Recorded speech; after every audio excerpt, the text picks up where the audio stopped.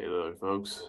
Thank you for being a little bit early. Let me start getting my, uh, how you say, audio checks, video checks in.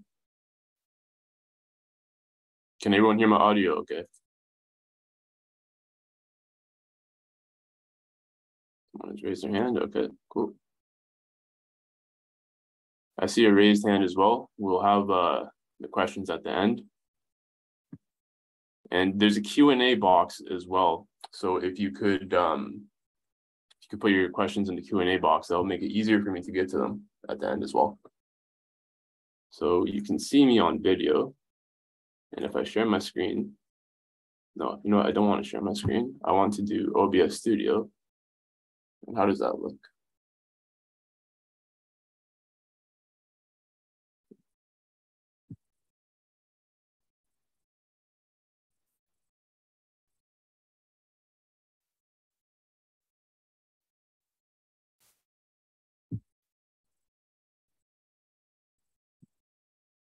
We'll be getting started in just a minute. Let me just make sure the audio visual is working for everybody.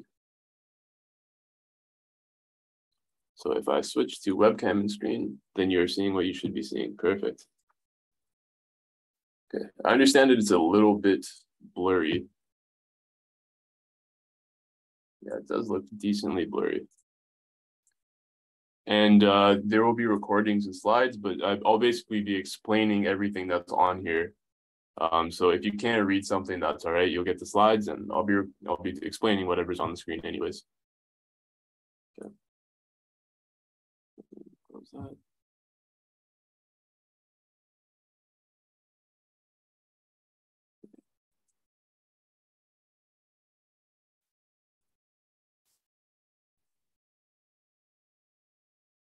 Okay, hello folks. Welcome to the training. Yeah, it's 12 o'clock, so we can start right about now. Um, we're going to be having the same format as yesterday, uh, where you can see me, you can see the screen as well. And uh, I'll be throwing up polls as well. So if you could participate in the polls. Um, so the questions about the recordings, uh, you should be getting an email with the recordings. You should have already gotten one actually. Um, but I will put in the chat right now a link to the, oh, that is not that is a link to my Google Drive. Well, it doesn't matter if you go there because that's just going to send you to your own Google Drive. Here is a link to everyone. That, that's the recordings right there. Okay. Um, you'll be getting an email with that link as well. Okay. So I'm going to start off with a poll to see if people have been practicing. Okay. And if you you have or haven't, we're going to start off with the practice because the way this is going to go is I'm going to take you into the breathing practice because the point of this is for you to get results right? This is this is for you to improve the health and for you to feel the breathing physically and see what's happening inside of you. And then i will take you through the theory. And while you listen to the theory and while you think about the theory continue breathing. And we'll have some breathing exercises throughout the throughout the practice okay so let me let me ask if people are practice first. It, it is really important to practice because this takes, I would say, a couple of solid hours initially of awareness and meditation. If you've tried to do meditation before, it's it's sort of like that where you don't quite get it until you get it. And then once you get it, you can drop into meditative states anytime and meditation gets deeper and deeper. Um, anybody can feel the breathing. So if you're starting new today, we're going to take you right through the start of the breathing as well. And you'll be able to feel it through your body at the very least. And through practice, you're going to be able to feel it all the way through your skull and start getting adjustments, which is our goal. If you could feel the breathing and you could feel it into your head, today is the day you should start feeling flexing of your skull bones and movement in the skull bones and possibly getting adjustments. Um, so about 65% of people did practice, 35% did not. And the people that did practice, more than half of them could feel the intensification. I want to say more than half, it's about 70 to 80% because 35% didn't practice. So if you, as you practice this, the feelings will continue to intensify. Okay, so let's start off with a practice. You have to get yourself into a calm state because there's a lot of sensory information going on inside of you emotional information, there's visual information, there's thoughts. We've determined yesterday, according to Hopkins Institute, that the fascia which runs through your body is essentially as sensitive as your skin. And you can see on the pictures here that this truly runs through your entire body. The head's not in that picture, but it runs through the head as well you have the level of sensitivity that you have on your skin all through your body. You're just unconscious of it until it hurts, usually. Sometimes you can feel pain inside your body, and then you notice that you can feel the fascia. Until it hurts, you don't notice it. And when the structure, when the fascia starts collapsing in its structure, you can visually see that it's collapsing. You'll start getting pains and aches and all the issues that come with that. But you only notice that when things start going wrong. So what we're going to do with the breathing is relax you into a state that all of the sensory information that's currently going through your fascia, you can start to feel it. And that's how we're going to start correcting it and pulling things into place. Most important thing is that you relax into calmness right now. So this is not an exercise other than an exercise in awareness. This is what your body is doing with every single breath. The fascia runs through your entire body. It tugs and pulls on every part of the body. And whenever any part of your body moves, the fascial network around the body feels it. We're going to tune into that with the breathing. Okay. So, what I want you to do is notice the expansion in your chest on every inhale.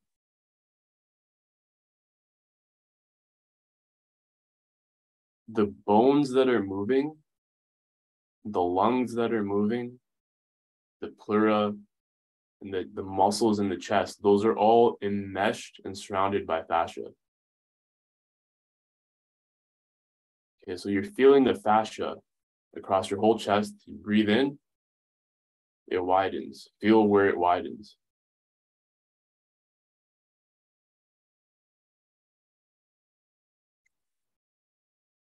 you have a good feeling for your chest. With your palms facing upwards, you put your palms down on your knees. So you have your hands resting on your knees and your palms facing upwards. I want you to notice where the breath goes, where the expansion of the breath goes.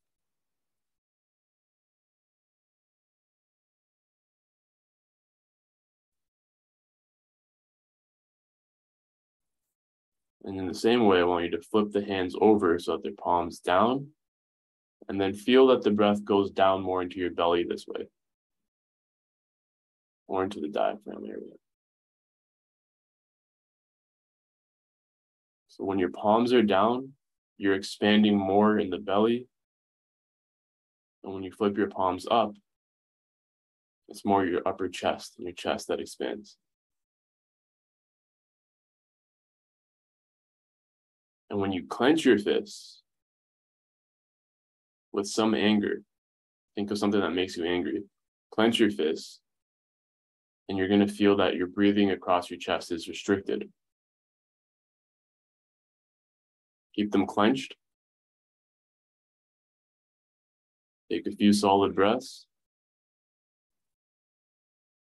And then for the next time that you breathe in, relax your hands and see how much deeper that breath is. For many people, they, they won't notice that their hands, the position of their hands and the clenching of their hands, the tightness has such an effect on their breathing. The reason that it has such an effect is because your entire body is one structure of fascia, okay? Every bit tugs on every other bit. And that's what we're going to use to get adjustment in the cranium and fixing of like spinal issues and all of the, the issues that happen in the body. I want you to continue practicing that. Get deeper and deeper into that feeling that, in fact, the breath goes through the whole body.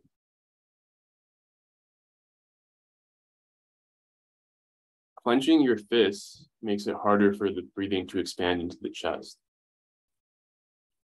If you clench your pelvic floor and your feet, you'll find the breathing even more difficult. And then when you unclench, you can take a full breath again. When you get angry, the typical response is to clench your fist. When you get scared, the response is to like tighten your pelvic floor. These are the sort of traumas that you, if you don't fully process them, you build them up over the years.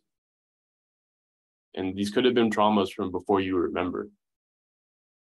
And they build up over the years. And before you know it, you're not able to take a proper breath. You're, you're clenched in your breathing. And when you do that, the system of fascia, this tensegrity structure, which gives the shape of your body, that collapses. This is what it looks like on an operating table, and that's what you can kind of visualize it at. It's a web, it's a network. That's the shape of your body, and it all breathes. If it gets tight in any one spot, it starts pulling into that area. You start getting tugs into areas you shouldn't. The structure starts collapsing. And you notice that when it shows up as symptoms or as pain. a lot of you already, I can take a guess that you're you when you feel the tightness in the front of the body, you can probably already feel that there's emotions associated with that as well. And people are noticing that, you know, one side doesn't expand as much as the other. There you go. That's where asymmetries come from. That, that's you you probably you can feel that all the way up your body, up the side of your face. For people, it's going to depend on your specific case. But for a lot of people, if, if your right side's not expanding as much, you can feel that into your face and your head, and you can see where you're asymmetric. So keep feeling that breathing. We're going to get deeper into that, flex the skull bones, and get adjustments while I go over a brief, deeper dive into the anatomy that we did yesterday. Why does this make scientific sense? Because we as a practice we really want to keep to what can be proven okay? That's really important to myself and um, to the the idea as a whole. What becomes the muscles of your jaw and your neck and the structures of your jaw and your neck and also the structures that are further down your body those start off as pharyngeal arches. Okay. If you can see the first picture, this is essentially the embryo of what most animals looks like. And in a fish, these arches become the gills. If you ever seen the gills of a fish, those are breathing mechanisms. As you evolve through your embryology and through the evolution in species, these breathing mechanisms started to serve other functions. But the nerve connections are all still there. The, the main function of breathing that exists throughout this whole structure has existed since we we're in that early form. So, embryologically speaking, evolutionarily speaking, that is why it makes sense that you feel the breathing all the way through these areas of the body. Because this is what we're going to focus on today. We're going to focus on the neck muscles. Okay getting their feeling of breathing, because this is where your gills used to be. Now it's your jaw and your neck, but it's the same structure. A fish starts out the same way that you do, and this part of the fish becomes the gills. And you, it becomes the jaws and the neck and the ribs and all that.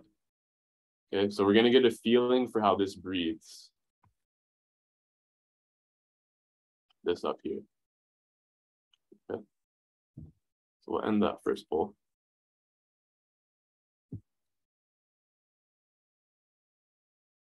For how all of this reads. is what we're going to get a feeling for, and then feel how that tugs the skull bones. Now you can get adjustments like that. Why this makes further sense is when you look at the way that the skull develops, um, it mostly develops in its lower third between infanthood and adulthood. And it develops because of all of these muscle connections and that breathing muscles. They constantly tug down on the skull and pull it into its proper shape. I want you to notice something, and I'll see if I can even zoom in. Can I? I'll just make the image bigger. Okay. That on a baby, there's this thing called the mastoid process. Okay. So I want you to feel right now behind your ear. You feel right here behind your ear, behind the earlobe. Take your finger and you can feel the bottom part of your skull. Okay. That's your temporal bone. In a baby, that bone is not really developed at all. What happens is when a muscle repeatedly tugs on bone, new bone deposits. And you can see where my mouse is, the evolution of the tugging on the mastoid process. Essentially, as a baby, you got pretty much none, and then over as into adulthood, as your lower jaw, lower skull, all this develops, it's because of the repeated tugging motion of these muscles of the neck. This is in our theory how proper craniofacial development should happen. And if you lack this tugging force, you essentially get what do jaws look like when they're undergrown? They look like the baby jaw on the left, right? It's back, it's not fully developed forward, it's not as robust. It looks neon neotenous, neotenous.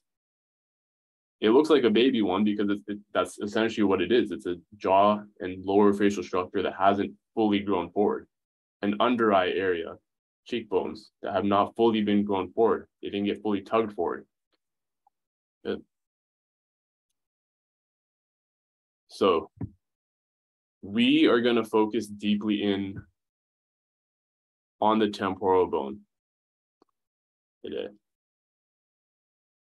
and the breathing muscles that connect up into it. Let me run a poll asking why it is called the temporal bone, if you, if you heard of it. I think you can also read, uh, this is legible. So if you want to have a read of what's on the right side, um, our theories are not in a vacuum. Um, we're pulling from a lot of different fields of science and understanding. So like Stills and Sutherland are, you know, founders of cranial osteopathy and cranial sacral therapy. And so Sutherland was more uh, cranial sacral therapy, and his understanding um, largely came from his aha moment largely came from looking at the temporal bone. And he saw and i'll show you this on the video slow shortly that wow the temporal bone seems to be built so that it can slide and move. And that's exactly how it is built. Yeah sutherland created cranial osteopathy thank you for that. Um, so the note the noticing there was that the bones of the skull are articulated and created in such a way that they seem to glide against each other and move so that they can move in a rhythm. This rhythm, we're going to explore the fact that this rhythm is driven by the respiration, normal respiration. Those of you know CST, uh, and those theories.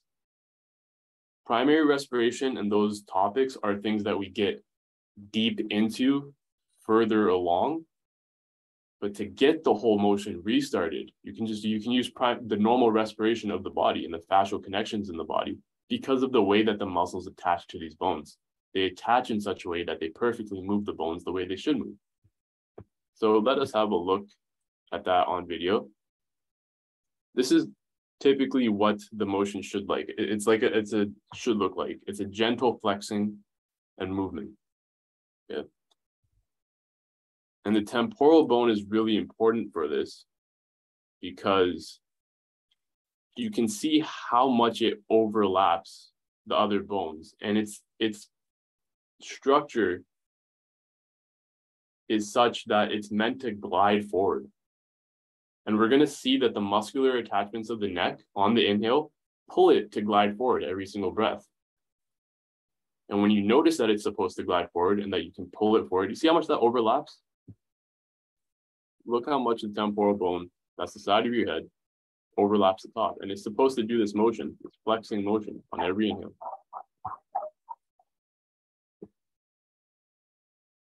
And we're going to explore today that the, the muscles of the side of your neck, those link up into the temporal bone in such a way that when you breathe in, you're causing that motion to happen and then flexing throughout your entire skull.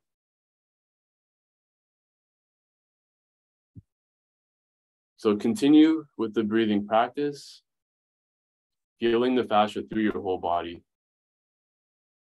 And noticing more and more the sides of your neck involved in breathing and the sides of your head. Now, the response to the poll of why is it called the temporal bone, um, pretty much everyone got it right to some degree. Um, so it is the temple region of the skull. That area is called the temple, and you know they say it shows the passage of time because your temples usually have white hair first, and a lot of you got the right answer right away that it keeps the breathing tempo. And no one no one can really identify who called it the temporal bone first. You know, these are more Latin names and older. Why is it called the temporal bone? If we can go a bit esoteric with the theory, I think it's because it really is the tempo of the body. This bone is so connected with the breathing, as you can see here. This is your temporal bone where my.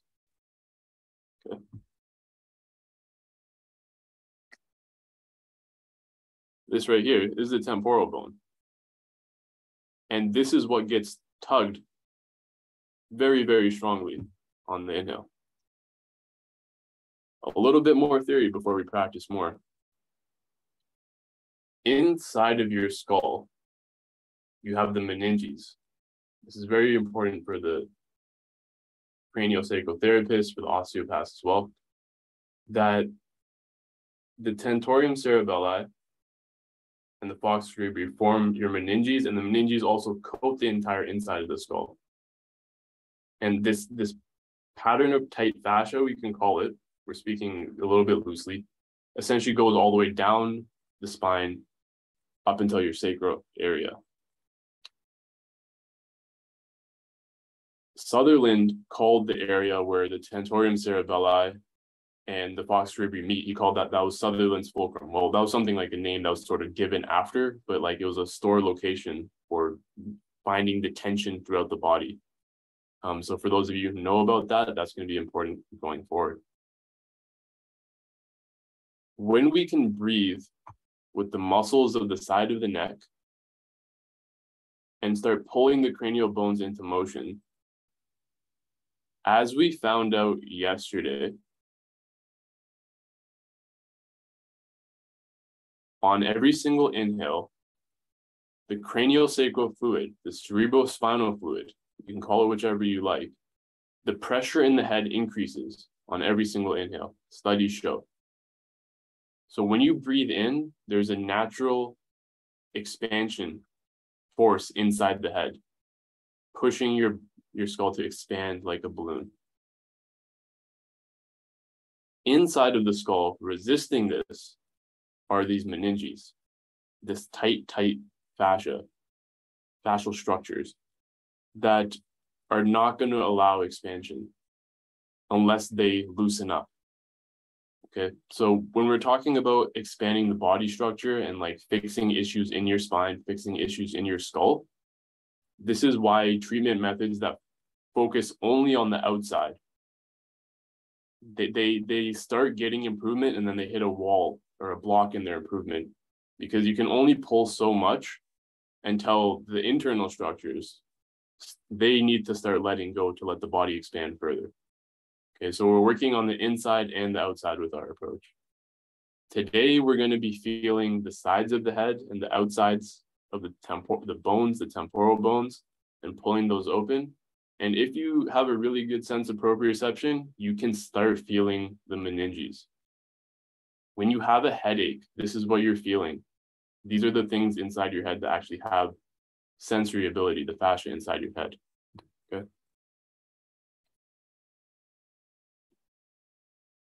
Within our theory and our practice, what you notice is that there are multiple diaphragms.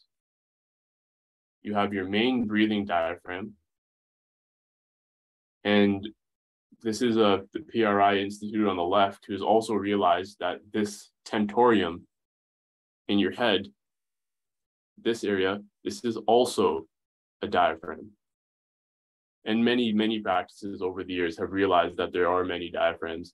In the full depth of our training in whole body breathing, we we do get into every single diaphragm. But for the purposes of learning, if you're just starting, just focus on your, your main breathing diaphragm, your head diaphragm, and then your pelvic diaphragm. Okay. Today we're going to be focusing on the head.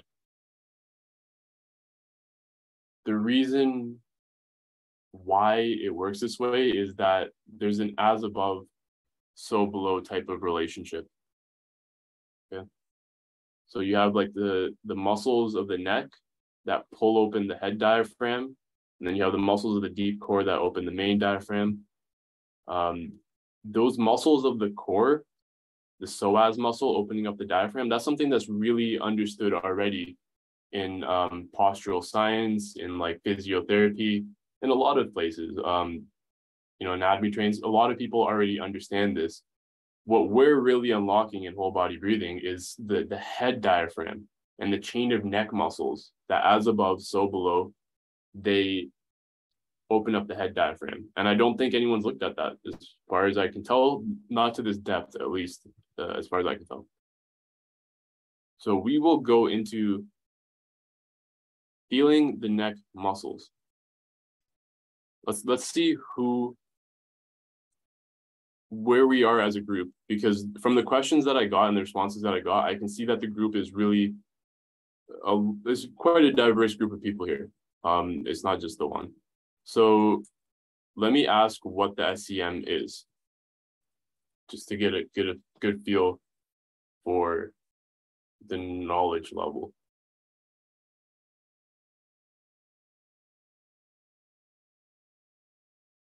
Okay, so we have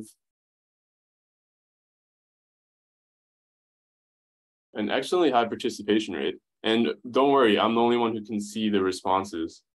And I can't even see the names until after the whole session's over. So no one else will see if you, you guess incorrectly. So give it a guess if you're part of that uh, 43%, 40% now that have not participated yet. Okay, we're pretty good. It's, it's not a trick question. The sternocleidomastoid is what the SCM muscle is. And I'll just, let me just show you that most of you got that correct almost everyone got that correct. Um, and if you didn't, then thank you for participating because that's what's required. Like really, really, really, that's what's required. This is a participatory process, right? I can't just explain this to you. I'm proposing this to you. I'm saying this is how I think the body works. This is how I think the breathing works. Can you try it on yourself and let me and everyone know, like, does that seem like what it is? Um, and we're going to work together to actually determine what's going on in the body. And we've been running a lot of people through the course, through the training, and we've had repeatable results, repeatable understandings, and that's what we're sharing here. Okay. We'll end that right there. And the sternocleidomastoid muscle is what connects, if you have a look at myself, and you can feel that real quick if you just turn your head to the side and you see this muscle, you see this tight thing that comes up, that is your SCM. Have a look at yourself, get a feel for it. Actually, actually put your hands on it and get a feel for where it connects. It goes down to your sternum. Like you see, the, it's the muscle that pops out. And as people correctly identified in the training that we did previously, that what is beauty? Beauty is a health indicator Okay. You you will notice when you go out day to day, I want you to have a look at people who have really well developed faces, have a look at their neck, have a look at their SCM muscle. I think a lot of you probably subconsciously or consciously understand that you find a muscle of the SCM that's really well defined. You find that quite attractive because it's part of this whole breathing chain. It indicates that the person's re- resilient and that they're breathing properly. So this SCM muscle right here, it connects up behind your ear and then into the back of the head. And it goes down into your chest. Okay. Muscles are fuzzy. Um, when we look at an anatomy textbook, like I'm showing you on the screen here, when we look at an anatomy textbook, they do try to simplify as much as possible because the red part, which is the muscle, turns into this white stuff, which is that, you know, the tendon and the connection points. And that just becomes fascia. That just becomes the general milieu, you know, the just the general mesh of the body. And then it, rather than looking at the body as a series of muscles, look at it as a fascial network that has muscles tugging the fascia around. That's that's what you know people are getting to that sort of conclusion that that's more what the body is. So when we look at an anatomy textbook, this one say um, art by Giovanni. I don't own these, but the the fascial chain reaches up into the sides of the head, and then it becomes your scalp, the scalp aponeurosis. Okay. So where your your SCM muscle, now we're gonna focus on, we're gonna meditate on. On the inhale, these are your accessory muscles of breathing. It's understood in sports science and in medicine and by yourself in general that when you are sprinting, when you really need to take in a lot of oxygen, you know these neck muscles start activating. You might not notice, but uh, you know the people who study this sort of thing for sure. They they say these muscles are used for breathing. They're really really used for breathing when you're breathing hard, when you really need that oxygen. What we propose is that actually all of these muscles, the entire fascial network, is breathing all the time. In fact, that's part of the normal rhythm of the body. And when that's happening properly, then the body's shape and structure forms properly. Most importantly for now, what you have is a diaphragm in your head. So from the back of your head, if you reach back, if you reach around to the back of your head, you should feel a ridge. That's your suboccipital ridge. And then you have a zygomatic arch. And then you got a palate. Yeah. This is your the diaphragm of your head. It looks much like the diaphragm, your main diaphragm, your breathing diaphragm. These things parallel each other. Okay. So why we're focusing on the SCM is because it's, it's the most obvious part in this muscle chain that pulls open the head diaphragm. And the way that the temporal bone, as we've seen, the way that these things are set up, this bone is designed to pull away. It's designed to move. It overlaps in such a way that it gets tugged on. And when it gets tugged on, it has this proper flexing motion. And the muscle which tugs it, the muscle which tugs on this mastoid process and tugs on the back of the head that's most easily detectable is this, your sternocleidomastoid. That's why we start here. Okay. So what I want you to try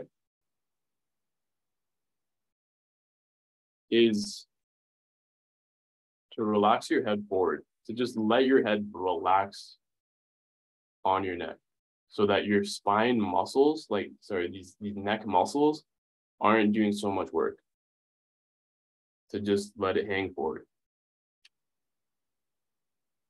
If you have a look, logically speaking, logically speaking, when a muscle contracts, there's a tug on both sides. So when you breathe in, this is your chest. This muscle pulls your chest up. That is the motion of your rib cage on the inhale. Your rib cage lifts and rotates. this muscle lifts and rotates your rib cage, the sternocleidomastoid. You don't have to focus on this muscle specifically. This is this is the best muscle to give you the example. But essentially what I want you to notice is that when you breathe in, your chest lifts and expands and there's muscles going from your chest, from your clavicle area up the sides of your neck to the sides and back of your head. Those muscles are helping lift the chest and helping lift the clavicle. See if you can detect. Importantly, don't try to detect the middle of the muscle. Don't try to detect it in the middle of the neck. Find the attachment points. So up here and down here. Find those attachment points. That's where you're going to feel the tug the most. Such that every time you breathe in, you can feel the lip, the rib cage, the clavicle, all of that lifting and expanding like we know it does. And then feel the muscles on the sides of your neck doing some of that work to lift the rib cage. If you're having trouble at all, you can add in the muscles that are your shoulders. So from your shoulders up the sides of your neck, because your shoulders are going to fall away as the rib cage lifts and expands.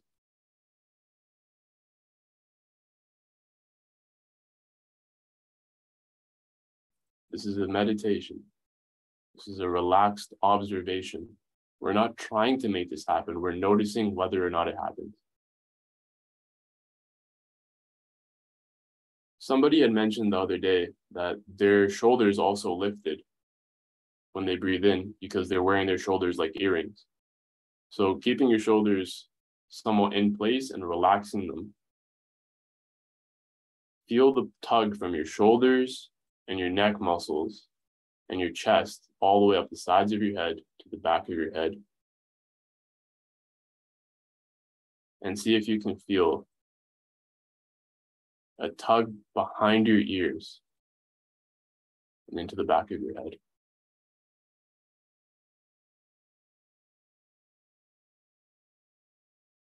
We'll add one more exercise to this to, to get to get further into it what is the motion? If you look at the picture here, sorry, what is the motion that this muscle does for posture?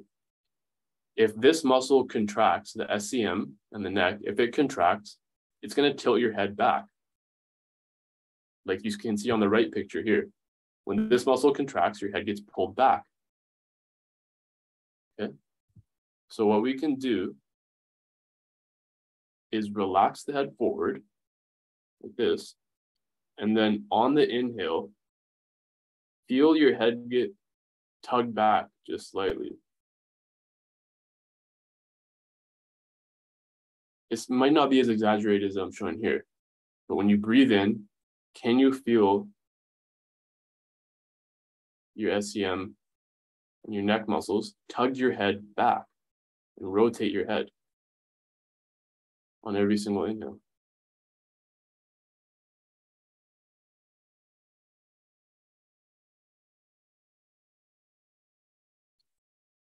I'll stay with you for a moment while we try to get that. Really do try to get this part started. And if you can't get it, I have another thing that you can try and notice as well. Okay.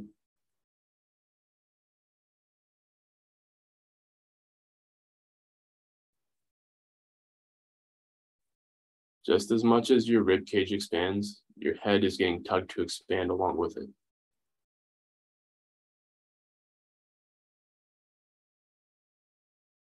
There's a gentle tug behind your ears on the back of your head that pulls your head slightly back every time you breathe in.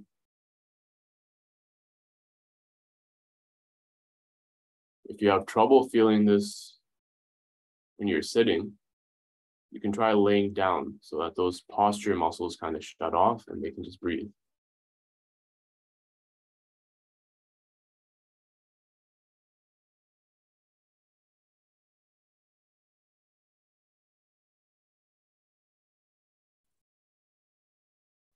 We're not dropping the chin down towards the chest intentionally. When you relax the sides of your neck, your head just sort of typically will drop forward. And then when you breathe in, these muscles are going to contract. So as these muscles contract, it's going to tilt your head back. As these muscles lift up your chest. right? like so. These muscles lift up your chest and your ribs on the inhale. And as they do so, they tug on the back of your head like that.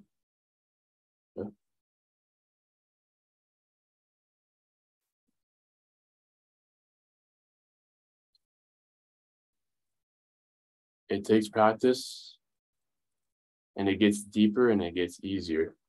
What a large part of you might feel is tingling. And as said before,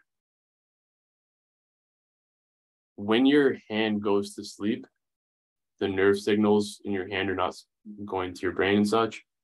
They're not really communicating. When your hand starts to wake up from sleep or your leg starts to wake up, what you get first is tingling. You just get a general tingling sensation in the area. And then as you become more reacquainted with the leg, then you can start feeling it again. At first, it's just a numb movement, and then you can actually use the leg properly. The feeling that you have in the back of the head in this area, it might start off as tingling. That's good. But don't just focus on the tingling. Keep deepening your awareness of it until it becomes actually you're really feeling what's going on here. We want to feel the real anatomical structures, not just some generalized feeling. We want, we want to be our own physician. I want you to be able practice this on yourself so you can do it yourself and know exactly this is what's going on. This is where my temporal bone is. This is how things are getting pulled. Okay. I will ask you shortly how you're feeling it. Before that, I want to make sure that everyone's getting an understanding of this. So if you're feeling your SCM, continue feeling that. I, I recommend you just continue feeling that sensation. What can work for a lot of people, a good entry point to this is your jaw. Okay. So you have muscles that go from your the bottom of your jaw down to your sternum. So they go through your hyoid and you can just you can see the muscles here and you can see them on myself. These muscles. Okay. So when you breathe in your chest lifts, these muscles also are involved in that tug. And since your jaw is hanging loose, what might be easy for you to notice is that your jaw gets pulled slightly down when you inhale. So if you can detect it in your SCMs, try detecting movement in your jaw. That your jaw will get pulled slightly down.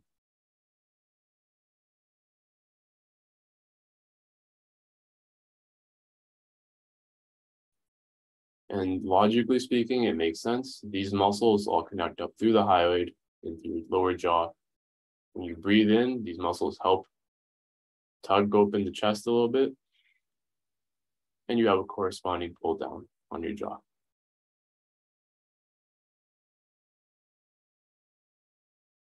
If you can feel that a lot more, focus on that. If you can feel the SCMs, just stay with the SCMs.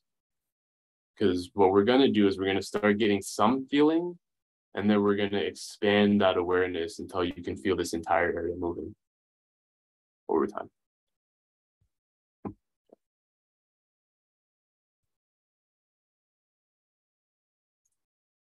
So I'm going to ask you now how people are feeling it.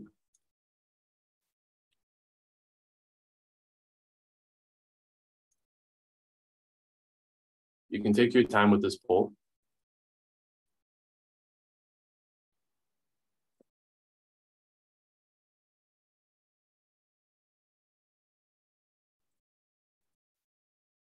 Right on.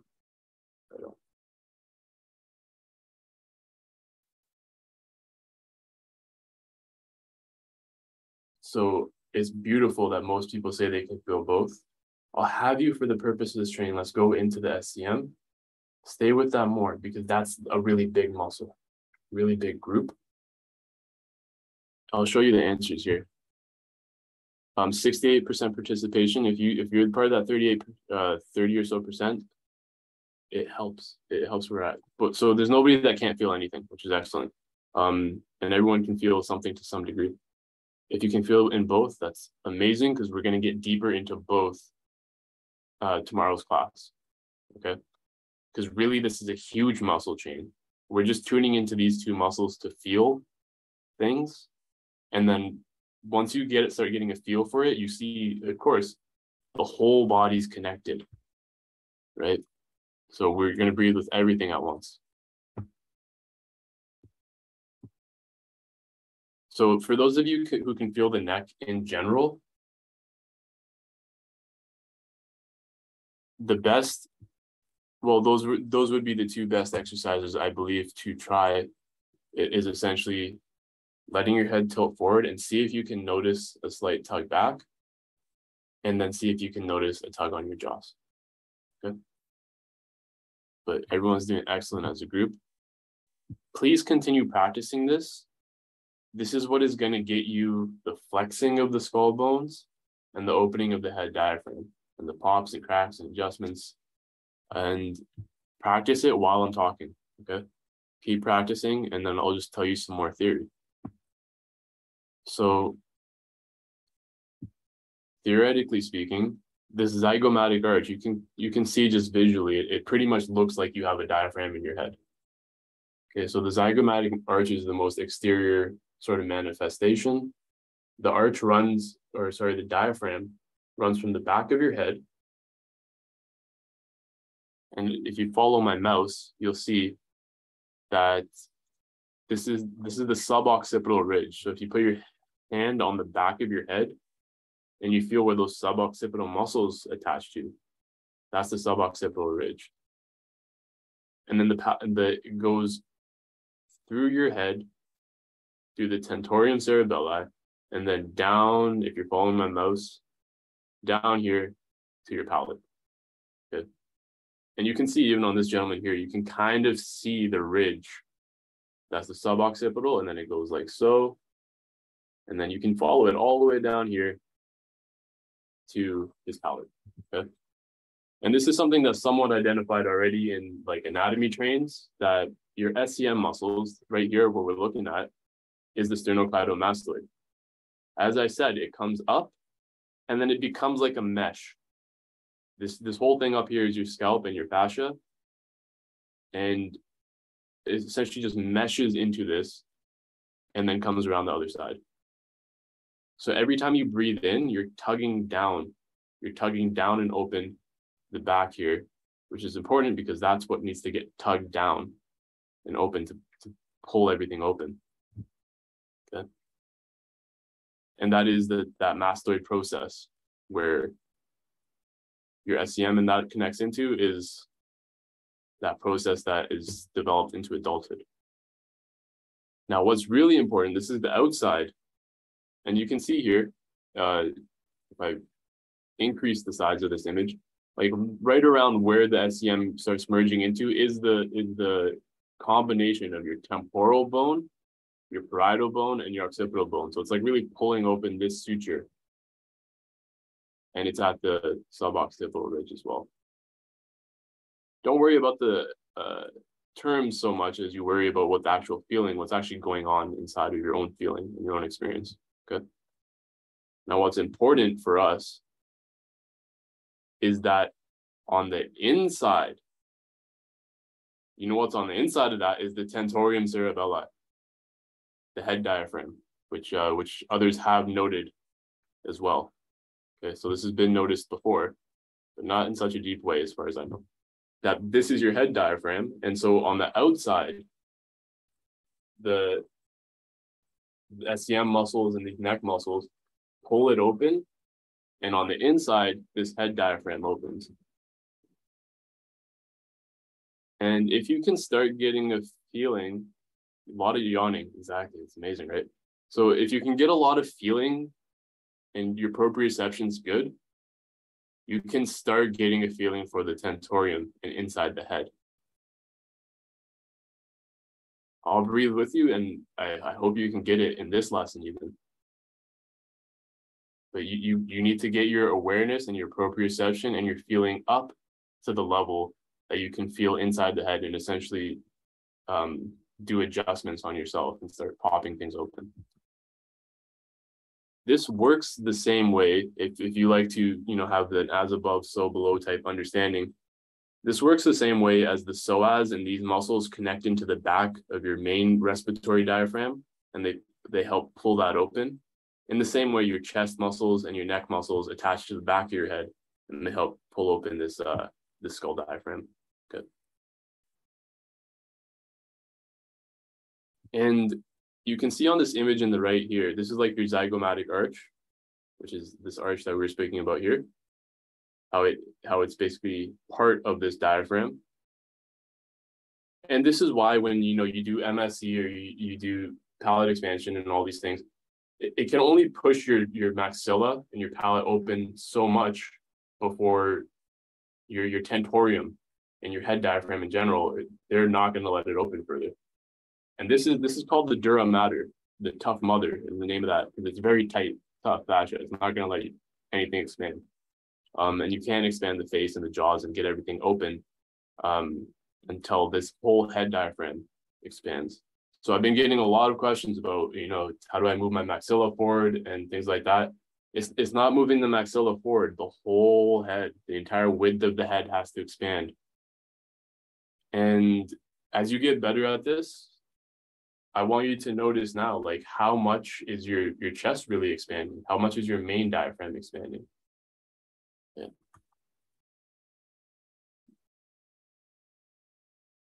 So I'm gonna ask again about feeling.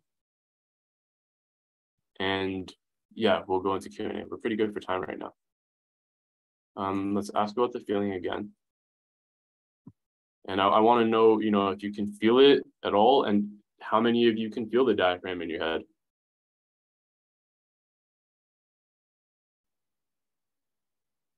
I'll, I'll put this on the screen. Well, no, I shouldn't put it on the screen so more people participate. And an amazing amount of you can start feeling the diaphragm of the head, which is excellent. And you can get a feel, you got the left tentorium and the right tentorium and why you know Sutherland and such really did understand to a deep level um, why you can feel that the tension of the body really is in those deep levels. Because when trauma is really deep what we're going to go into tomorrow is that you have a frontal line and a back line and those are involved in the breathing and opening up the body. And a large part of what we do is having to release trauma down the front so that the frontal lines can open and you can have expansion um, but deep trauma, really deep things start releasing in the meninges and in the spine. Good. Uh, so here's the poll results so far. Um, so yeah, and a large percent of people can even feel it in the head, is uh, amazing. Really glad with that. Continual practice um, what you're feeling today is not the end of what you're going to be feeling. This just gets deeper and deeper until the point where I, I say again, as Hopkins Institute says, and is well known by now, your fascia and your meninges, you can, they're almost as sensitive as your skin. So you can feel your entire body from the inside out. You have that capacity. When you have a headache, you notice it. When you have a ache or pain, then you notice that you can feel them. But there's no reason to be unconscious the rest of your life, especially if you're trying to fix an issue. Okay, so when you, through the breathing, we're going to gain consciousness of these entire structures. And that's how we can get to fixing them. Okay, and you become your own physician. So that's the end of the main training portion for today. What we're going to talk about is essentially the results the, our long-term goal um, is full correction. So to fully expand those diaphragms and opening up the entire width of the skull, so the cheekbones, the maxilla, everything comes forward, the back of the head pops into into place. Um, this the issues that happen in the brain with a compressed skull. Um, I won't go into those now, but there are issues that happen there, and also the compression of the spine, compression of the body. Um, that's our long-term goal to get everyone all the way back to correction, like they were in pre-industrialized, pre-agriculture type of times.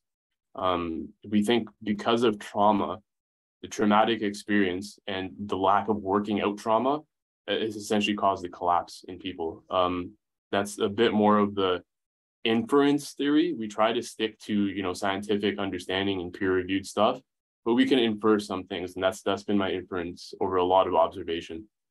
Um, and yeah, uh, you will get to the point if you keep practicing that, that you start getting adjustments in your skull, and you will start getting um, psychosomatic changes uh, and a lot of opening.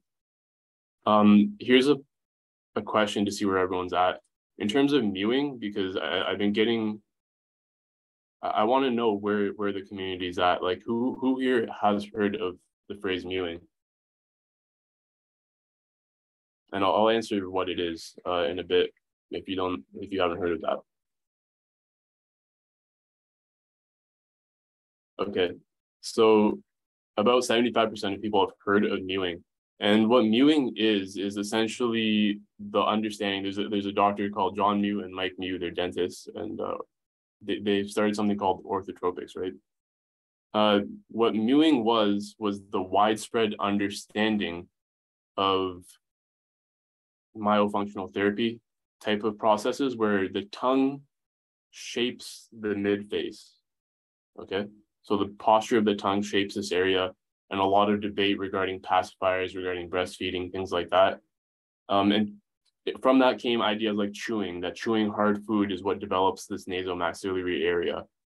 Uh, for those who have heard of it, I, I, would like to propose to you that theories show that, or sorry, studies show that chewing activates this SCM muscle and the neck muscles. And so I think what people are doing when they're chewing, mewing, um, somebody had asked about holographic type of breathing. Um, I think essentially what those are is because some people do get results from those things. I think the reason some people get results is what they're actually doing is they're activating this deeper chain of muscles that really is what pulls open the skull. So somebody starts hard mewing, you know, they really push their tongue up hard and they end up supporting the front of their skull so their neck starts activating. Or they start chewing hard foods, which starts activating the sides of their neck again. So almost incidentally, they, they start activating what we're doing here, which is activating the main muscles. Yeah. Um, so tomorrow, what we're going to be doing is we're going to be going into the tongue, um, where where we think how the tongue we think should be functioning uh, agreeing with John Mew in many ways about the importance of the back third of the tongue, um, but looking at it in a slightly different way. Um, and we're going to be looking at the wider chain. So how all of these muscle chains, the jaw, the tongue, the neck, how they fit together as one cohesive whole. Um, but we're going to be staying in the head because I think that's where a lot of people are interested most. Um, in terms of psychosomatics, I've had questions about that. Um, yeah, we have great results. And that, that was something that was incidentally noticed that became the theory. Uh, oh, why do we have these contractions down our front? And um, if you were in the class yesterday, we spoke about Sankocha and those uh, theories that you have egoic tightening. Your body and your mind are one. So the memories that you have, the things that you're holding on to, those are sort of stored in your body. If you have a heartbreak, you you clench your chest. You know, your chest collapses forward. Um, if you have any sort of fear, you kind of collapse forward into a fetal position. Your SCM and your psoas they contract and they protect your viscera. They protect the front of your body, and essentially people are collapsed down the front. Is the issue. Um, so we'll go more into that tomorrow. And yeah, the the results for myself have been amazing. My whole life is so different than last year. Like my life is unrecognizable almost from last year or two years ago even. And um, a lot of people have noticed that well as well. Their life changes, their mental patterns change, um, physical patterns and life patterns and all of these things all go together is what we found over time through experience. Um, it's a lot harder to empirically prove that, you know, it, it is just difficult. So we try to stick typically in our public facing stuff to what is more evidence based, what is uh, inference, and people do have those sort of releases. And it's been amazing. So please continue to practice. You'll get links to the social media groups. We're going to do a Q&A in a second if you do have questions. Um, if you if you were in the chat before and you were asking me stuff, please try and like copy and paste it again so I don't got to go back up the chat. Um, and you can book a call with me. I'll leave the link down here. Uh, that's something I have to address as well. And let's let's start getting into Q and A. Start popping it in in the Q and A sections better. Um, and then I'll check out the chat before I go as well. Um, something I want to address here. I got I got asked questions about like sessions, like how much do you charge per session? And this isn't like a session model. This is a training. Um, I previously used to do sessions. Um, I, I don't want to do a session on you. I want you to do this on yourself. So I want you to become a master of this uh, this feeling of all these diaphragms, and opening up the whole body and how the entire system fits together. And there's a one-on-one training, which is like if you are a professional, which I, I will ask that poll right now, actually. I need to know how, how many professionals there are in here. Um, if you're a professional and you want to practice, like you, you want to get this down 100% to the point where you can start prescribing exercises or start teaching it to others, I would recommend one-on-one type of stuff. And then otherwise we have a project, essentially. The long-term goal for us is full correction, which ends up being psychosomatic correction. And we're not going to shy away from that goal. Where we're at so far is getting skull bones adjusted and getting, you know, the spine adjusted and getting people feeling more open and but we're not going to lose sight of our long-term goal. So that's who we are as a project. Um, if you want to sign on to the training that is like a, the pre-recorded training it's your it's at your own pace then you're signing on to the project and you're going to just get continuous lifetime updates and the community updates and the group coaching and everything and we're going to continue working forward as a community um, so if you want to contact me about those options, that's in the chat. Good. And uh, now we'll now we'll just go into the question and answer. I'll show myself and go through the Q and A. Okay. So someone's a bit confused. Just excellent. Um, the breathing helps the diaphragm of the head, which may play a pivotal role in development of the face but we all breathe. So what is the right way to breathe? Have those of us with, with underdeveloped jaws been breathing improperly? Um, because I know my SCM isn't just active, it's overactive. It's overactive in people with underdeveloped jaws and airway issues and a common site of trigger points. So we all do breathe. The right way to breathe is, can I pull this up? Now we have a Discord server and I'm gonna have to go and post an image that I posted in the private community, which is like for the members of the training. Um, here is that, share my screen. Good. And the proper way to breathe, this is from an Anatomy Trains book actually, that the back line, we won't be doing this in this training, unfortunately, it's not the time for it, but the back line tenses just slightly. And the way fascia works is like if you have an aponeurosis or somewhere where the fascia is really tight, like the dura mater, if that tenses just slightly, the way tensegrity works is the places where the fascia is looser and less dense, that expands quite a bit. So down the back of your body, you have this back line that contracts just a bit, and that opens up the front line of the body okay? And that pulls that whole thing open. And that is what proper breathing looks like um, in terms of your whole body expanding on the inhale. Um, somebody just asked what a tongue tie is, which perfectly fits into what I'm talking about. A tongue tie is this front line essentially being really too tight, in my theory, in my understanding, okay? Um, that this, that's essentially what a tongue tie is. People have done dissections of this part of the skull, or sorry, this part of the skull of the tongue, and the floor of your mouth is the bottom of your tongue. And then the floor of your mouth essentially becomes the muscles above your hyoid, which becomes your neck muscles. So if you have a tongue tie, that means that muscle chain has a ligament which is too tight. Um, that can be caused by a variety of things, but at the end of the day, this is your frontal chain being uh, overly tight. So we'll go back to Yep. And so in terms of what is breathing properly, when the back line and the front line are properly functioning, the back line tugs and the whole front opens up. And you have a very easy breath. I've been told that like the ideal breath is one that somebody who's watching doesn't even notice. It doesn't look like you're breathing. That's of course the, the far advanced yogic type of ideal breath, which is like no breath. And what happens, I propose over time, is traumas down the front of the body. Say you have a heartbreak, something like that, you contract and you don't fully let go of that, and you end up hunched over. We, we know this is true to a large degree because scientific studies show and the evidence shows um, that there was one study where they got people at a desk um, and uh, people who were working, and they gave them phones to work on. They gave them cubicles that were too small and they gave them small screens. And so they had to work hunched over all the time. And they found that these people slowly stopped speaking less. They were less confident. They didn't say as much in meetings. And then they switched them back. They gave them big monitors and big desks. And so they could, you know, with their shoulders back. And these people became outgoing again.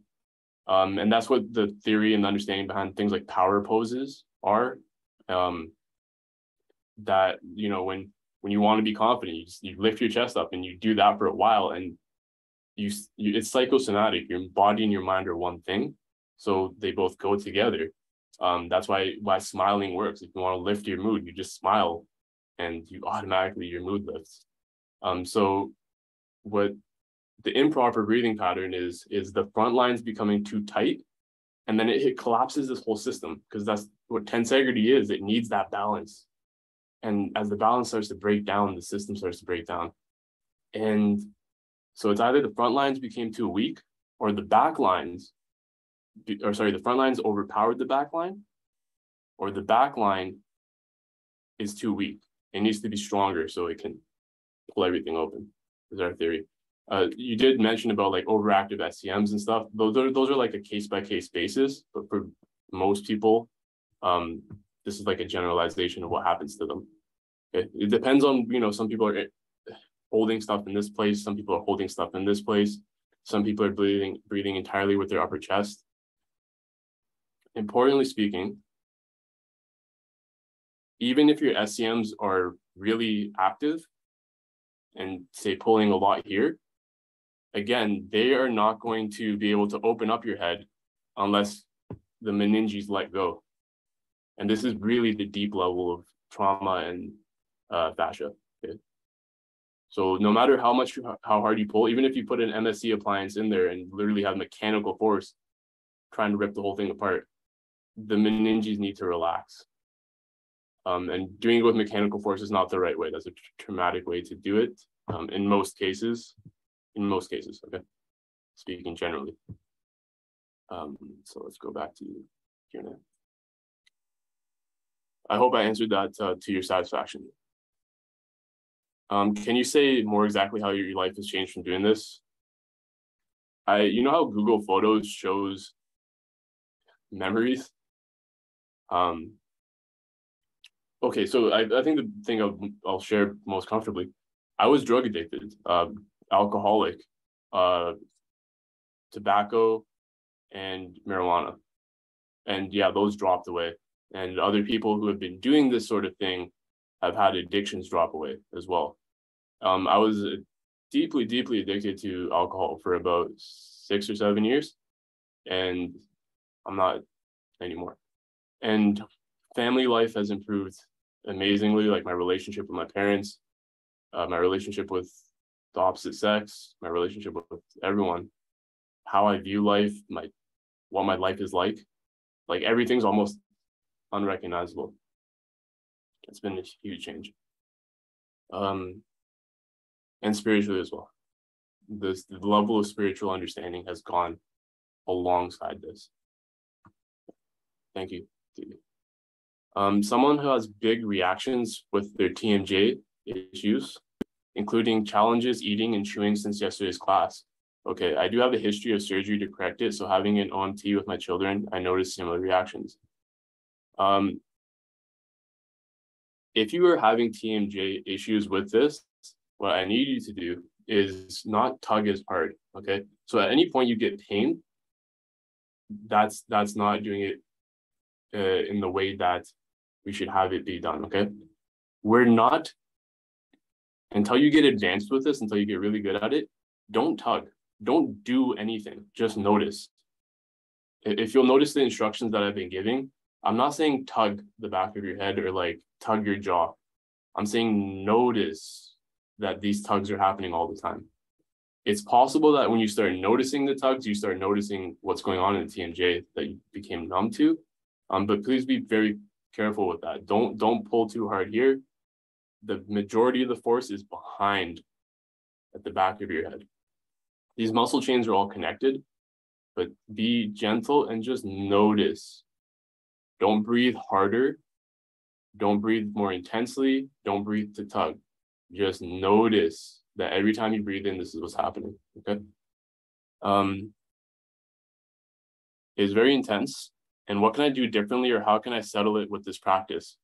I'm not unfamiliar with it. However, I'm making the correction with the self adjustments that are happening in this practice. I did feel significant shifts yesterday and have pops on the opposite side. So that's excellent. You you you have a feeling for, you have the capacity to feel what's going on in your TMJ. And this is to become your own physician. So I'm training you to notice what's happening there. And then when you notice what's happening there, you can get a feel for how things need to expand, what needs to let go. Um, there's so many reasons that temporal or these TMJ issues could be happening over over tight temporals. Uh, one big one that this area is just not expanded properly, not grown properly is the biggest one, I think. Um, because this is a modern epidemic, you know, TMJ issues back in the day when we really had to chew hard stuff would would have destroyed us. Um, T, TMJ is a, a modern issue, so we're trying to get back to the level of human proper human development, where these skull jaw issues are a very small percentage of uh, problems, not not like a worldwide epidemic that it's been treated as normal, but it's not. It's not normal for humans to have these issues at such a high rate. Animals don't. We're not. We're not a, that big of an exception. And we didn't have them. And it, about ten thousand years ago, they started showing up in the archaeological record that people started having these sort of issues. Before that, the jaws were developed really well. So pl- please, for everyone doing this, especially if you have TMJ issues, this can help. I I never had those issues, but people that have trained with me. Um, if you sign up for a call, you'll see on the testimonial page after that, somebody who was having issues with chewing um, and their TMJ pain reduced quite a bit uh, with the breathing. Most importantly, that this is a noticing practice, okay? We're not trying to pull everything into place. It's tempting, but just notice what's happening and you'll get a better understanding what's going on with the TMJs. Um, what is trauma? Is it something bad that happened to us? Um, so Essentially, yes. Uh, yesterday, we had explored something that was called sankocha, which is like a holding pattern. Um, it's a it's a contraction, and this is what in Sanskrit or Sanskrit that's the language, but like in more ancient systems, the feeling of the ego was described as a feeling in the body. It's a habitual holding pattern. When you get scared or shocked or anything that happens, you essentially hold on to your body because your body is the sense of identity for your ego. Um, and the place that it'll usually contract largest is usually at the, the base, the root, which is like a survival mechanism. So the level of identification with the body and the level of safety, it essentially contracts you. And to be less egoic, less affected by the past, less affected by your own stories of yourself is an opening experience. And that goes alongside this opening experience as well. Okay. Um, so a trauma can be obvious trauma. It can be a physical one. You know, you get hit really hard in the chest and it's a trauma. You hold on to that and it affects your whole breathing pattern. And that's something that would be easily, you know, I could I could propose that to you right away. But something that if you go through a heartbreak or you're going through an extended period of you're closing off in some way, those build up over time. And if you don't let go of them, it's essentially turning you into a fetal position. If I could look that up right now. Those of you who have been around with me for a while know my propensity to just end up on Google, uh, Google images in order to uh, explain the ideas. So a fetal position, what it is, is essentially your SCMs, uh, fetal position danger. Not, not the actual fetus position, but like what the position of, well, I'm only seeing pictures of uh, babies, but what a, a fetal position is, is you're protecting the back of your neck and you're protecting your viscera, your organs. And so what that essentially means is that you curl up into a ball, which means your SCMs and your psoas essentially are contracting to protect yourself.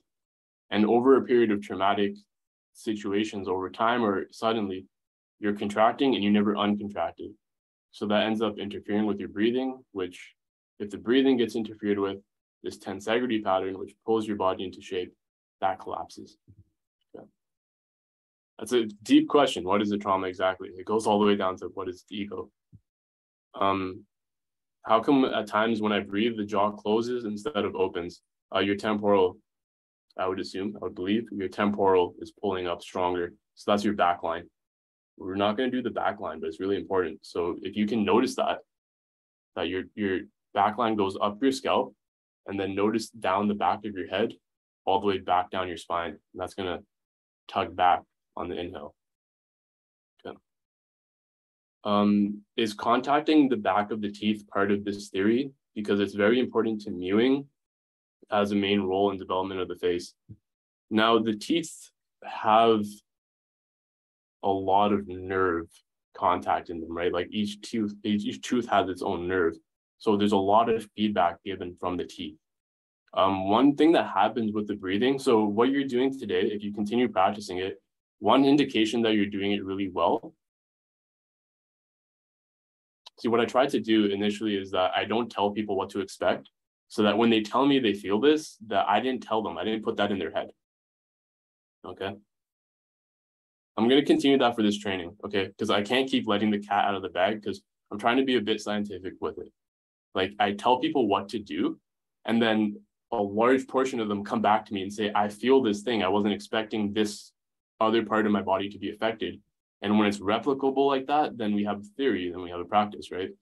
Um, so the teeth are involved. Um, in terms of contact, uh, I think that's more, uh, it's not something you can try to hold. Teeth in contact should happen by itself. If it's not happening by itself, you trying to put it into contact can correct things, like with splint therapy, things like that. Um, in in more of a it's better than because I, I hesitate to say band-aid now that I know that there's a lot of health professionals on here, but it's better than most ways, you know, because you're actually working with the structure of the body. But the teeth should naturally come together. That's what your body's supposed to do. Lightly come together and how give each other that sort of sensory feedback. So we rather than putting the teeth together, we're trying to figure out why the whole skull and such didn't grow in such a way and why the muscle patterns are not in such a way that that naturally happens. Okay. Um, after identifying restrictions, how would we go about releasing them? When you can feel a restriction down the front of your body,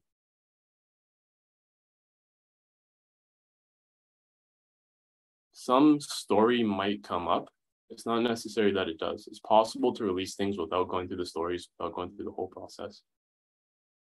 But if you just pay attention to that area and continue breathing into it, because now that we've determined that your whole fascial network breathes into your hands, into every part of your body, you can sort of direct this part to, you can follow the breath through the body, through the chest. You can see what's expanding, what's not, and you can follow the breath through the body and see where it's trying to go and it, it can't expand into that area. And you just stay there with your awareness and your breath.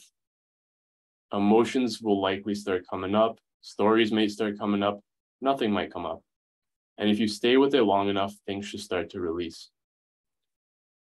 That is where I was at for like a solid six months before I started teaching this to other people like a while ago. Because I thought if I just release these things, then things will pop back open. But the the fascial web that is your body, your your psychosomatic system is too many layers deep to dig through all of them. And most of the time, we're adding new layers all the time, anyways, right? But I that is a, an important thing that you can do, and you will notice the physical effects. So what typically happens is you breathe into that thing. It's traumatic. You can feel the constriction in your body. You might feel emotions welling up. You might think what the memory is. A memory might even come up. And then as you release it, you can you can might cry, you might have some sort of release, you might feel it physically open up. And then we get into the talks of like possibly even possibly today we'll get into it. This type of kundalini energy where you know uh I liken that to your nervous system energy because to contract your fascia takes energy. To contract any muscle or contract any part of your body takes energy. Okay.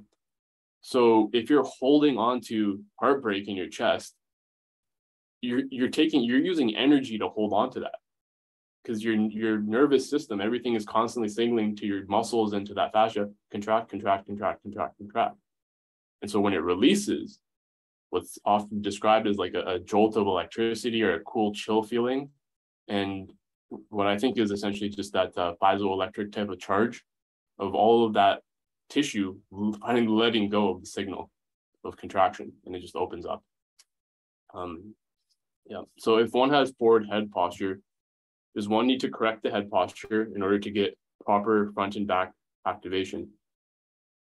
Your posture is you. The breathing and your posture, it's all one thing. So you don't you don't correct this and then do the breathing. With the breathing, you're going to detect why is my head forward. You're going to feel where your fascial chains are tight, and then you're going to start releasing them. Uh, are we saying we shouldn't breathe from the belly? So belly breathing, diaphragmatic breathing, that came about because of the noticing that people were breathing from their upper chest. That's that's like a stress pattern of breathing, right? You're, you're just breathing from up here. And then had people notice, hey, your diaphragm is actually where the majority of the breath should come from. So they drop into there and they relax and that's sort of pattern starts releasing. So, you know, to say diaphragmatic breathing or belly breathing, that, that was kind of a tool to get people who are really too up here to go down a bit further. Okay. But in reality, the whole thing expands. As you can feel with the hands in this exercise, the whole thing's involved in breathing. Okay.